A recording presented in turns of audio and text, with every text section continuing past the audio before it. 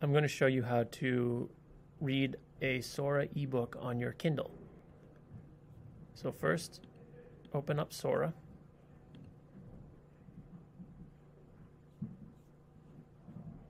Next, you need to check out a book by clicking the title and then clicking Borrow.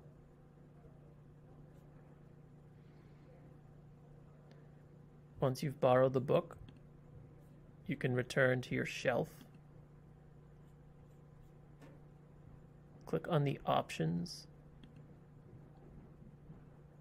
then click Send to Device, and then click Send to Kindle.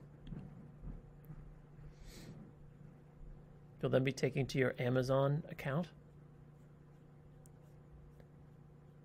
Make sure you're signed into your account. You can choose if you have more than one device. You can select the device from the drop down menu and then select Get Library Book. Then the next time you open your Kindle, the Sora ebook will be available.